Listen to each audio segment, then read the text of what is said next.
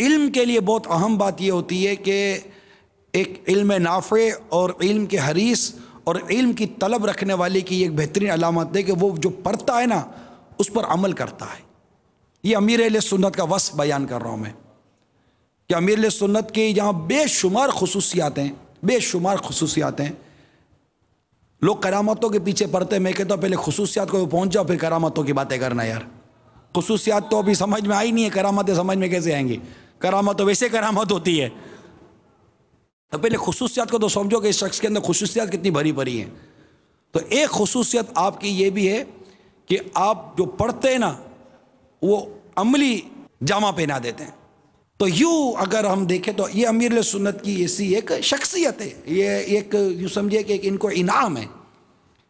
और कि ये जो पढ़ते हैं, उस पर इनको अमल करने का एक इनके इनके पास जज्बा है। अल्लाह हमें भी ऐसा जज्बा अता फरमाए। सुन नबी, फैलाता है तेरी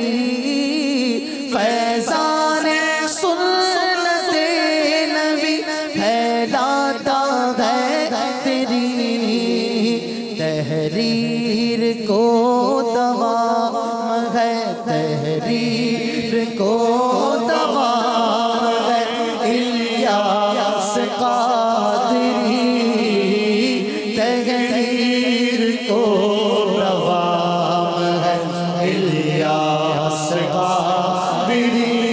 इसका ये दुनिया भर के जो इस्लाम है ना, इनको पता होगा। ऐसे कई इस्लाम भाई हैं जिन्होंने अमीर सुन्नत को ना देखा, ना सुना भी नहीं। सिर्फ़ फैदान सुन्नत का दर्द सुना और मदनी माहौल में आ गए। मुझे पता नहीं, लेकिन मैं चलो ऐसे ही करता हूँ। फैजान सुन्नत का दर्द सुनकर कौन कौन माहौल में आए? ये देखिए। ये फैजान सुन्नत का दर्स सुनकर माहौल में आए। तो फैजान सुन्नत का दर्स क्या है? तहरीर। किसकी? इलियास कादरी। फैजान सुन्नत नबी फैलाता है तेरी। तहरीर को दवाम है इलियास कादरी। तो कोई मैं सुधरना चाहता हूँ, रिसाला पढ़ कर सुधर गया।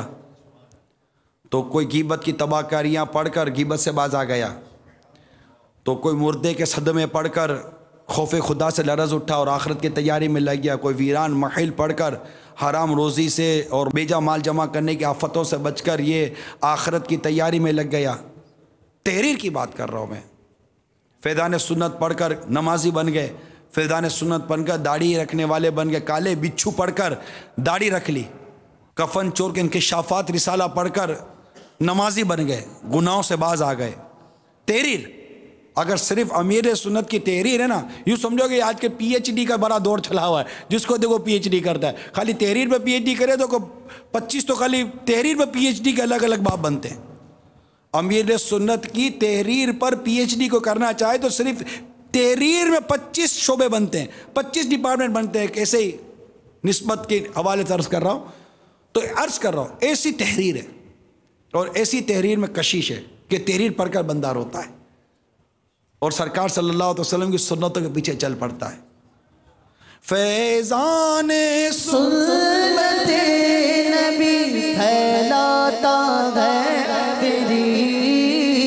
फैजान सुन्नते नबी फैलाता तेरी तहरीर को दवा है तहरीर को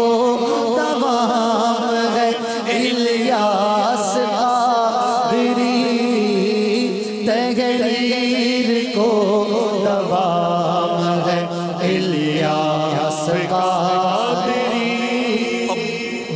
फिर वहीं लेके चलते हैं, जहाँ से चले थे। कि अमीर अहले सुन्नत की जो बहुत ही ख़ास बात जो सारी दुनिया मानती है, वो है कि ये आशिक मदीना है। ये कौन है? आशिक मदीना है। ये आशिक रसूल है। सच्चा आशिक रसूल है। कहते नहीं कहते, बता ओलमा कहते हैं, आशिक मदीना। क्योंकि ये खुद को लिखते हैं, सगे मदीना। अब ऐसा ऐसा आशिक मदीना है कि ये आपने सगी मदीना लिखता है। और यही इश्क, ये इश्क है, ये मोहब्बत है इनकी, कि अपने आप को सगे मदीना लिखते हैं। तो ये आशिक मदीना है। क्योंकि मदीने को नस्बत है, मुस्तफ़ा से अलैहि मदीना इसलिए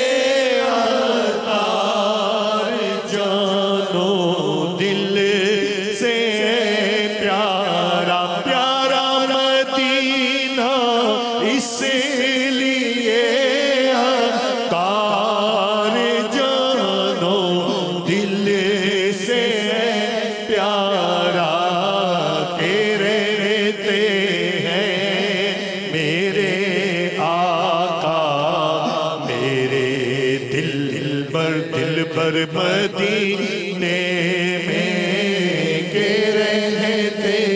हैं। मेरे मेरे दिल पर दिल पर और मदीना तो फिर मदीना है। हबीब